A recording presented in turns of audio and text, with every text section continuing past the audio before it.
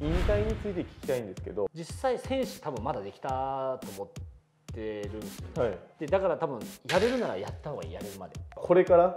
今度何をされていくのか子供たちを呼んで、まあ、テクニカルな部分とか教えようかなと思って。皆さんこんにちは。藤田義和です。今日は、えー、ついきさんを、えー、ゲストにお招きして、えー、やっていきたいと思います。よろしくお願いします。どうもお願いします。どうも。やめた今日は。やめやらないですか？今回今回しないです。今回しないですよ前回今回もありがとうございます。はい、いえいえまた続けてはい、はい。本当に2回目も今日はついきさんが今年、えー、とまあ会社を辞められて、はいはいはい。えー皆さんこれから何をされるのかっていうのが多分気になると思うので。本本当です当気になって気になってるんですかそっち？えいや僕の中では本当にラガーマンで一番面白いと思ってるのであのそんこんなラガーマンあんまりいないと思うんですよ。はああまあいないないでしょうね。まあ、はい。い、ろいろ SNS 等でもい、ちょっと違う路線行ってますもんね。そうですね。僕はあの TikTok とか見させてもらってて はい。ああいうのを見てて本当一番面白いなと思っていてあの、まあ、これからですね何をさされていくのかっていうのをすごい聞きたいなと思うんちょっですけどと真面目なやつ話しますか？そうですね真面目なやつとあとはいはい。砕けたやつもくだいやもう大体真面目な話5分もたないんですよ。はいでちょっと、はい。そうですね5分ぐらい5分ぐらい話しまあとの、そうですね15分ぐらいははい。ふざけて。わかりましたわかりました。お願いします。はい。じゃあまず、僕もこれから直面していくものだと思うんですけど、はいはい。引退について聞きたいんですけど、はいはいはいはい。えーっとまあ、僕も結構長く今のプロ生活をやりたいなと思っていて、どうしたらこう長くプロ生活ができるのかっていうのと、まあ、ラグビーができるのかっていうのとうんあとはなんか引退の決め手というかなぜはいこうラグビーから離れようと思ったのかっていうのをちょっと聞きたいなと思ってるんですけど。はいはいはい。辞めたきっかけは実際選手多分まだできたと思ってるんですよね、はい。でだから多分やれるならやった方がいいやれるまで。そうです僕。自分ができなくなるまでやった方がいいと思うそうですね。まあ、まあ人によるかもしれない。もういやいややりたいことが見つかったとかいうのはあれば別だけど。はい。まあ、ラグビーが好きでまだプレーしたいっていうのはずっとそれやったらいいかな。あで俺の場合は本当にチームがやっぱ勝てなかったからなんだろうってずっとやっぱりベテランだったからね、はい。ずっと考えて俺いつまでも選手してたらダメだなと思って。ーあーそういうことなんですね。なんか、うん、やっぱ中に入ってスタッフその、はい。まあ、コーチとかの中に入って、まあ、何らかしらの形でバックアップしようと思ってでそこ変えようかなと思っていろいろ。ああそういう組織をってこと組織を変えることからまず始めようと思って、やめる大体ラグビーやめるの1月2月でしょ、はい。もう本当に辞める年のもう4月5月ぐらいでも言ったもんね。もう今年は辞めます。新庄みたいなことしてますね。今年は辞めますって。かっこいいでしょ。いやかっこいいです。かっこいいですよ、ほんとそれ言ってもうとりあえずもう辞めること決めてたから、はい。もうもうその時はねもう肩手術した後ではい。もう最後1年やりきろうと思って。はい。もうでもうあのやっぱ広報普及担当をねはい。任されて、はい。やっぱこのチームをじゃあもっと PR して、まずこのチームのファンを増やそうと。はいはい。いろんなイベント行ったり、はい。まあ、いろんな教室行って子どもたちに教えてコカ・コーラレッドスパークスのファンを増やそうと、はい。選手としては見に来てくれた人が多ければ多いほどやっぱりテンション上がる。そうですね。嬉しいですよね。そうそう。あれを作り上げようと思って、うもう全部オファーを OK です。行きますって。はいはい。全部受けて。そしたらテレビに取り上げられたあ本当ですか？全国放送のえーすごい電話取材。本当ですか？すごいですね。野球ですかそれは？本当電話取材でそれで新聞にも取り取り上げられてあその時本当ですか？福岡が盛り上がったっていう。あいいっすね。嬉しかったと思って。ただね休みなかった。ワールドカップイヤーは。ほとんど。そういうことですね。全部受けたからね本当に。イベント。あそうなんですね、うん。もう選手にお願いしますって言って。と選手そうでもせそこは難しいの。選手のコンディショニングもあるから。そうですね。結構やっぱイベントとかそうそう難しい。嫌がる選手もいるじゃないですか。でまあイベント好きとかいろんなまあ選手たちに聞いて、はい。どういうイベントが好きとか選手の好みもあるし、はい。イベントによって。確かに。こういうのだったらいいですよみたいな。それも聞いとったからじゃあ行ってみるみたいな。経験させてね。であと行けなかったらもう全部俺が行くみたいな。あそうなんですね。でやっぱ選手もねそれでね喋るのが上手くなるもんね。確人前に出て、すごいですね。うん、でやっぱそのまずファンを増やそうと思って。はい。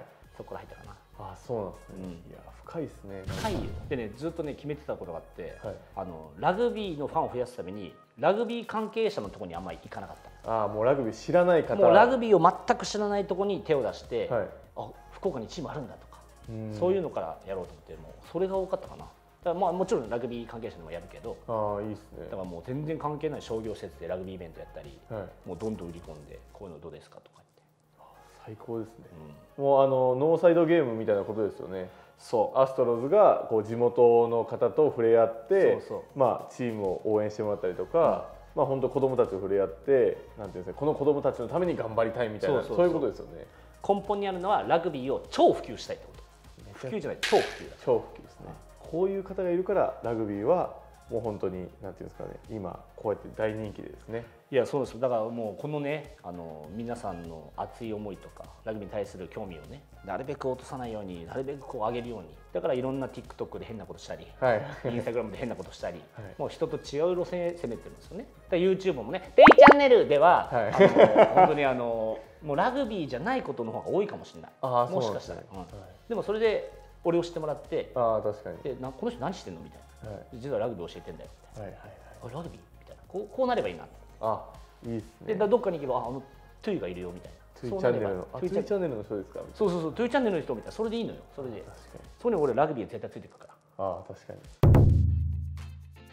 まあ、今こう引退からこう広報の活動のところも聞いたんですけど、まあ去年ですね会社を退社されて、うんうんまあ、これから今度何をされていくのかっていうところはいはいはがすごく気になるところなんですけど、小学校中学校にラグビーチーム結構福岡やっぱりはい。盛んで多いんだけど、はい。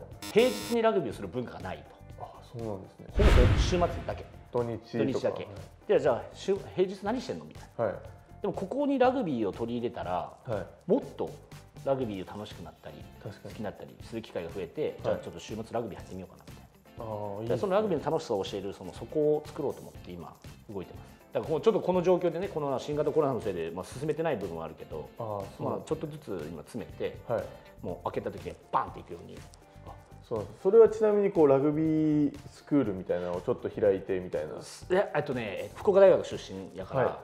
福岡大学のグラウンドを使って、はい。そこに子どもたちを呼んで、まあ、週に12回小学校中学校の部を作って、はい。テクニカルな部分とかそこら辺をちょっと教えようかなと思って。だから福大と連携してね。福岡大学スポーツ科学部ってそのコーチの資格も取れたりするよね、はい。でそこのまあ学生にコーチング演習として授業として盛り込んで、はい。まあ、単位取得にもつながって、まあ、学生その俺らがコーチ入ってその弟もはい。福大の監督してるからはい。手伝ってもらって、であとその俺一緒に筋トレ仲間のトレーナーがおるからそいつも入れて、まあ、体の使い方とかそういうのをいろんなこう分けてちょっと本格的な地域に根ざしたテクニカルスクールアカデミーみたいな感じを作ろうかなと思って。もうなんかそこで育った子がそうそう例えば花園の池田とそうそうそう。か日本代表になったっていうそうすごい嬉しいですよね。で今やっぱ週末にやってるそのクラブチームはい。とかは結構ボランティアスタッフが多いよね。はい。でもちょっと今回は月月謝もらうけど、はい。もうしっかりちゃんと教えますよっていう。まあプロの技であったプロりとか、の技ではい。まあこれから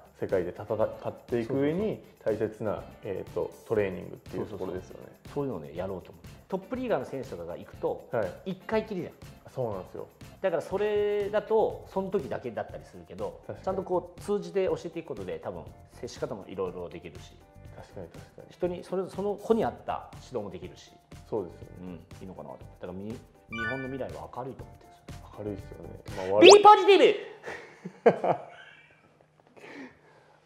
ちょっと高弘と似たところありますよね。木村貴弘マジで？はでもあいつ俺のこと真似してんじゃないかな。いいや真似してるかもしれないです。ああのこの前もあるある20連発やった後に最後に「パワー!」って言って終わってましたからね。いやあいつマジで。バイバイ。バイバイ。パワー。パワーですよあれやんか。中山筋肉のやつパクってるらしいです。パクったらダメ、パクったらダメですか、うん、でもやるやるやる勇気はすごい。本当ですか？やること大事よ。やるかなんか確かに確かに。やるかやらない確かに。だからちょっと安心してほしいのはクラブチームのせあのスタッフたちはせ子供たちを取るんじゃないよと。そうですね。試合をするわけじゃないから、はい。ただ本当に教えるんですよ。とテクニカルな部分を。アカデミーみアたいな。カデミーはい、でそれを持って帰って自分たちのチームでまたそれを活性化してくれれば他の子たちもねレベル上がるし。あのまあニュージーランドのラグビーとかもそうですけど、あの自分の所属のクラブチームがあってカンタベリーとか、うんうんうん。えー、とクルセイダーズのアカデミーとか、そういう形で学びに行って、自分の自チームで活躍してこう選ばれていくみたいな感じなんで、もうそういうなんていうの海外のイメージをもう福岡で取り入れるってことですよね。そうでそのやっぱ違うチーム同士のメンバー子供たち集まってまたはい。話す機会もあって、あうちこんなやってるよこんなやってる。そういうコミュニケーションの場になって、確かに。まあ、よりこうなんかなこう積極的な人間としての育成もできるのかなと思って。いやそうですよね、うん。やっぱりラグビー選手ってあのただプレーがうまいとかではやっていけないですし、うん。やっぱ人間性がかなり重要なのでそうよね。そういう部分もですねそうそう。そこをねやりたくてえー会社を辞めました。いやでもすごいすごいビジョンですね。そうですね。このねはい。発信の時にどうなってるかわかんないですけど、はい。まあ今詰めてますけどね。いやでも本当今日はいい話を聞きましきちょっとなんかあれ逆になんか気持ちが悪い自分が。たまあちょっとふざけ真面目な話真ぎ面目が多かったですもんね今回は、まあでもこういうねはい。人材が福岡にいるっていうのをそうですよね。思っていただければ、はい。本当いろんなことをしてラグビー盛り上げたい。はい。よろしくお願いします、まあなあの7人制の元、えー代表のキャプテンということもあるので、はい。これから7人制のこともどんどん発信していきたいのでね。はい。また今後ともよろしくお願いします、はい。すいません。ありがとうございます。ありがとうございました。この動画が、えーいいと思ったらチャンネル登録と,、えーと高評価よろしくお願いします。お願いします。ピーパージ TV ありがとうございました。バイバイ高弘と一緒なんかな？